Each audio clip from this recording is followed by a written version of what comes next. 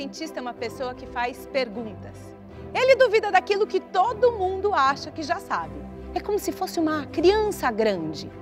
E tem muita criança que é um cientista pequeno. Vamos começar pelas perguntas? Sempre um bom jeito de começar! Então anote aí, quem foi Mary Anning? Onde nasceu? Onde viveu? Quais eram seus sonhos, seus planos, suas ambições? Quem era sua família? Quais eram seus talentos? Além dela, também os monstros marinhos. Muito bem observado, então anote aí, quem são esses monstros? Por que são chamados E monstros? por que marinhos? Onde nasceram? Onde viveram?